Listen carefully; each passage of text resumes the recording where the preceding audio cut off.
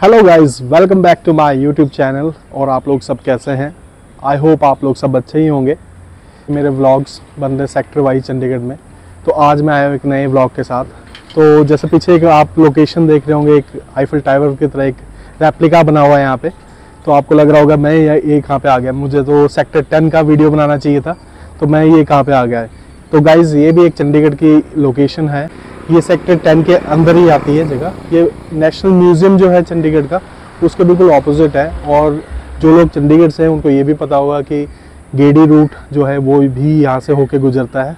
तो sector ten में से गेडी रूट भी निकलता है। गेडी रूट एक्चुअली क्या है कि जो कॉलेज के लड़के हैं, गाड़ी से बाइक से, एक गेड़ी मारनी, एक चक्कर मारना गाड़ी से, बस, यूँ ही बस, बिना बात के। तो उसको गेड़ी कहते हैं। तो ये गेड़ी रूट है चंडीगढ़ का तो सेक्टर टेन भी है, उसमें अलेवन में भी आता है। तो ये सारा आता है। वो मैं आपको सा, सारे सेक्टर सा जो आगे आएँगे उनमें दिखाता भी रहूँगा कौन सा कौन सा एरिया गेड़ी रूट के अंदर आता है जहाँ पे लोग जो कॉलेजेस के बॉयज़ हैं वो गेड़ी मारते रहते हैं। तो गाइज़ अभी मैं आया हूँ यहाँ पे सेक्टर टेन में तो आज का मैं व्लॉग स्टार्ट करूँगा सेक्टर टेन से। तो गाइज़ काफ़ी इंपॉर्टेंट सेक्टर होने वाला है। काफ़ी कुछ है इस सेक्टर में जैसे कि एक म्यूज़ियम है जिसके सामने मैं अभी खड़ा हूँ वो मैं आपको दिखाऊँगा। उसके अलावा यहाँ पे आर्ट कॉलेज है वो मैं आपको दिखाऊँगा। सेक्टर टेन की मार्केट है। चंडीगढ़ का सबसे पहला फाइव स्टार होटल है इसी सेक्टर के अंदर। मेरा आ, स्कूल है जहाँ पे मैं प्लस वन प्लस टू करी है तो वो स्कूल भी मैं आपको दिखाऊँगा। डीएवी कॉलेज है यहाँ पे काफ़ी इंपॉर्टेंट होम साइंस कॉलेज है।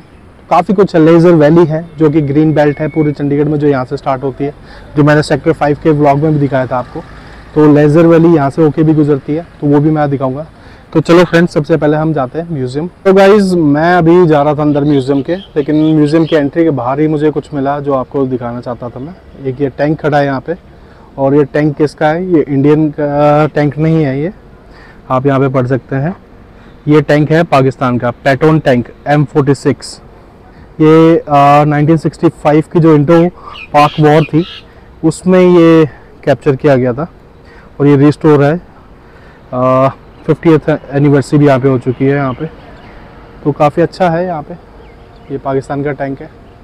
और इसके बिल्कुल ऑपोजिट है म्यूज़ियम नेशनल म्यूज़ियम है जो। ये कुछ ऐसी एंट्री है यहाँ पे। और ये इधर को म्यूज़ियम है जो मेन म्यूज़ियम है म्यूज़ियम एंड आर्ट गैलरी और वो आई थिंक सामने जो है छोटी सी बिल्डिंग वो वाली, वो चंडीगढ़ म्यूज़ियम है। क्योंकि मैं पहले आया हूँ स्कूल टाइम में तो मुझे थोड़ा थोड़ा याद आ रहा है। तो बाकी अंदर जाके आपको दिखाता हूँ क्या कुछ है। आज एक तो मौसम बहुत अच्छा हो रखा है। मतलब कल बारिश हुई थी चंडीगढ़ में तो काफ़ी अच्छा मौसम है। मतलब मुझे लग रहा था धूप वगैरह आने के लिए क्योंकि थोड़ा ओपन है यहाँ पे, ओपन में थोड़ा चलना है। तो मुझे लग रहा था धूप ना हो। धूप नहीं है बिल्कुल भी अच्छा मौसम है, हवा चल रही है बहुत अच्छी। यहाँ पे कुछ ऐसे ये बनाए हुए हैं। बीच का एरिया, ये फाउंटेन वगैरह है I think I am not sure ये पत्थर रखे हुए हैं इसके अंदर। मुझे नहीं पता क्या रीज़न है ये, किस चीज़ के पत्थर हैं। शायद पुराने कोई पत्थर मिले होंगे, वो रखे होंगे और फाउंटेन होता होगा। यहाँ पे भी एक स्कल्पचर सा बनाया हुआ है और यहाँ पे लिखा हुआ है सारा कुछ, क्या कुछ है यहाँ पे। मैं थोड़ी सी एक, वैसे बता रहा था आपको इन्फॉर्मेशन ये डिटेल इन्फॉर्मेशन है। हम जाएँगे यहाँ पे नेशनल म्यूज़ियम जो है म्यूज़ियम एंड आर्ट गैलरी यहाँ पे वीडियोग्राफी होगी तो मैं आपको अंदर से दिखाऊँगा, नहीं तो मैं क्लिप्स आपको फोटोग्राफ द्वारा की वीडियो बना के डाल दूँगा। तो गाइज़ मैं देख के आ गया अभी म्यूज़ियम और आर्ट गैलरी जो है। वो मैं देख के अभी आया और वहाँ पे वीडियोग्राफी अलाउड नहीं थी, इसलिए मैं अंदर कुछ भी नहीं वीडियो बना पाया। क्योंकि देखिए बनाने को मैं बना भी सकता था चुपके से, लेकिन वो सही नहीं है कि अगर आपको कोई चीज़ अलाउड नहीं है, वो भी किसी रीज़न से अलाउड नहीं होगी। तो मैंने पिक्चर्स अलाउड थी, पिक्चर्स उन्होंने मुझे अलाउ किया पिक्चर्स की मैं आपके साथ शेयर करूँगा, या तो मैं बीच में वीडियो के, या फिर लास्ट में आपको डाल दूँगा। क्योंकि अगर किसी ने म्यूज़ियम के बारे में जाना, बहुत ही अच्छा म्यूज़ियम है, बहुत ही डिटेल्ड वीडियो है बनेगी इसमें। अगर कोई स्पेशली इस म्यूज़ियम को आता है तो पूरे दिन यहाँ पे स्पेंड कर सकता है क्योंकि इतने का, काफ़ी डिटेल्स में। और ये किस चीज़ का म्यूज़ियम है? जो इंडिया पाकिस्तान अफ़गानिस्तान का जो बीच में गंधार एरिया पड़ता है उस एरिया में जो जो आर्कियोलॉजिकल डिपार्टमेंट ने खुदाई में जो जो सामान निकला था वो सारा कुछ यहाँ पे यहाँ पे मैंने पूछा था तो उन्होंने कहा 40 परसेंट इंडिया के पास आया था और 60 परसेंट पाकिस्तान के पास। तो वो अलग अलग इंडिया के म्यूज़ियम्स में रखा हुआ है। तो यहाँ पे काफ़ी ज़्यादा सामान रखा हुआ है वो गंधार सेक्शन से तो यहाँ पे आप आइए आपको काफ़ी डिटेल मिलेंगे। क्वाइंस वगैरह काफ़ी रखे हुए हैं अंग्रेज़ों के ज़माने के मुगल्स के टाइम के सिख एम्पर के टाइम में। तो वो चीज़ें आपको देखने को मिलेंगी यहाँ पर तो वो आप देख सकते हैं यहाँ पे। काफ़ी बुद्धिस्ट से रिलेटेड काफ़ी मुझे क्योंकि मुझे ये आइडिया नहीं था कि भी महात्मा बुद्ध अ, उस साइड में भी वहाँ पे भी कुछ मिलेगा। क्योंकि मुझे लगता था नेपाल बिहार और इस साइड से ही ज़्यादा कनेक्टेड थे महात्मा बुद्ध। लेकिन यहाँ पे भी गंधार एरिया में भी काफ़ी जो आर्कियोलॉजिकल डिपार्टमेंट से जो खुदाई में सामान निकला है, उसमें महात्मा बुद्ध के मोनेस्ट्री वगैरह के काफ़ी ज़्यादा मोन्यूमेंट्स हैं और आइडल्स हैं। तो वो आप आइए, बहुत अच्छा है रिकमेंड करूँगा। और इसके बाद अभी मैं जा रहा हूँ साइंस म्यूज़ियम वो भी इसके सामने ही है तो वहाँ पे जाऊँगा। वहाँ पे भी अलाउड नहीं है वीडियोग्राफी फ़ोटो अगर मैं क्लिक कर पाया, वो मैं आपके साथ शेयर करूँगा। तो गाइज़ मैं आ गया हूँ वापस बाहर। एक्चुअली में वहाँ पे लाइट नहीं थी उस म्यूज़ियम में। तो वो कहते कि अगर लाइट के बिना आप देखोगे तो आपको समझ ही नहीं आएगा। तो इसलिए फिर कभी देखेंगे। तो अभी हम जा रहे हैं आगे अपनी नेक्स्ट डेस्टिनेशन पे सेक्टर टेन की। तो अभी बाहर निकलते हैं, फिर आपको दिखाते हैं। तो गाइज़ ये मैं आ गया हूँ लेज़र वैली ये बिल्कुल ऑपोजिट है। जैसे म्यूज़ियम मैंने आपको दिखाया, ये म्यूज़ियम है। म्यूज़ियम के बिल्कुल ऑपोजिट यहाँ से लेज़र वैली ये पूरा पार्क है। वो सामने अगर आपको रोड दिख रहा होगा तो रोड के उस पार है रोज़ गार्डन सेक्टर 16 तो ये ऐसे ही, ही पार्क है ये काफ़ी लंबा पार्क है सेक्टर 10 के बीच में से निकलता है। तो गाइज़ ये है government college of art sector 10 ये म्यूज़ियम के बिल्कुल साथ में ही पड़ता है और साथ से ही एंट्री बिल्कुल लेज़र वैली के बिल्कुल सामने। तो गाइज़ ये है सेक्टर टेन का डीएवी कॉलेज। ये सामने भीड़ आपको दिख रही है ये है राइट साइड में एंट्री इसकी। ये लेफ़्ट साइड को शायद कैंटीन है और मुझे लग रहा है कि यहाँ पे शायद कोई इलेक्शन का टाइम चल रहा है। पोस्टर्स वगैरह भी दिख रहे हैं यहाँ पे अलग अलग पार्टीज़ के। ये देखिए डीएवी कॉलेज तो गाइज़ अब हम आगे सेक्टर टेन की मार्केट में। ये कुछ ऐसी दिखती मार्केट यहाँ की सेक्टर टेन की। ज़्यादा बड़ी मार्केट नहीं है, कुछ I think forty fifty shops ही होंगे यहाँ पे। तो कुछ ऐसी दिखती है यहाँ पे मार्केट तो अब हम थोड़ा वॉक थ्रू करते हैं मार्केट में। खाने के फ़ूड जॉइंट्स काफ़ी अच्छे आपको मिल जाएँगे यहाँ पे। क्योंकि आपको जब भी कोई स्टूडेंट एरिया या कॉलेजेस वगैरह का यूनिवर्सिटी के पास कोई सेक्टर मिलता है, या उस सेक्टर में अगर कोई कॉलेज है तो वहाँ का फ़ूड जॉइंट्स काफ़ी अच्छे होंगे।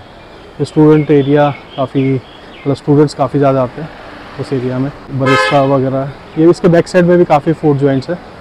आप कभी आएँ तो सेक्टर टेन के बैक साइड की जो मार्केट है, उसमें भी आप आ सकते हैं। ये एस बैंक और उसके बाद ये सामने छोटे बूथ्स हैं। यहाँ पे भी खाने पीने का काफ़ी कुछ आपको मिल जाएगा। और जो मैंने आपको चीज़ दिखानी थी का सबसे पहला five star hotel hotel Mount View अभी नाम आपको क्लियर नहीं दिखा होगा क्योंकि भीड़ थोड़ी है। ये देख सकते हैं होटल माउंट व्यू ये सेक्टर टेन में चंडीगढ़ का पहला फाइव स्टार होटल अभी तो काफ़ी खुल गए सेक्टर अलग अलग सेक्टर्स में, लेकिन ये सेक्टर टेन में माउंट व्यू सबसे पुराना हुआ करता था। तो जब भी कोई भी सेलिब्रिटी आना है या क्रिकेट टीम आनी है तो इसी होटल में रुका करते थे। तो ये थी मार्केट सेक्टर टेन की। अब हम हम चलते हैं अपनी नेक्स्ट डेस्टिनेशन पे।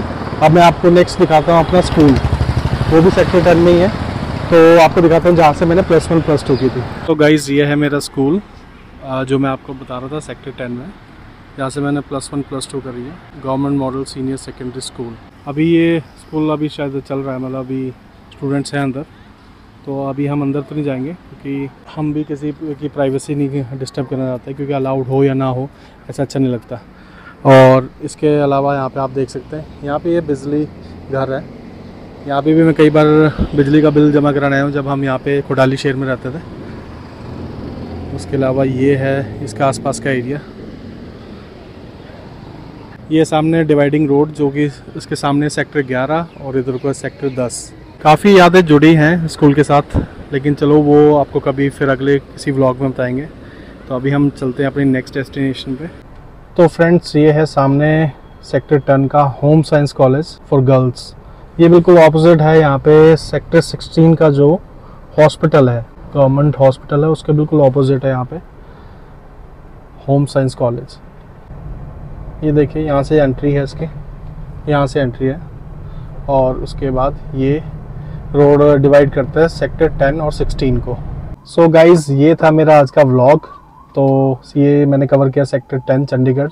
आपको कैसा लगा आप मुझे बताइएगा। फीडबैक ज़रूर दीजिएगा कमेंट बॉक्स में। आप बता सकते हैं कैसा लगा। और ये बताइएगा, अगर कुछ कमी हो तो भी। मैंने अपनी तरफ़ से कोशिश करी सारे जो भी चीज़ें थी सेक्टर टेन में, उसको कवर करने की। अगर कुछ मिस हुआ तो भी आप मुझे बताइएगा। मैं कोशिश करूँगा अगले सेक्टर्स में वो कमी ना आए। तो फ्रेंड्स ये था आज का व्लॉग तो अब हम मिलते हैं अगले ब्लॉग में सेक्टर 11 के। तब तक के लिए बाय टेक केयर जय हिंद।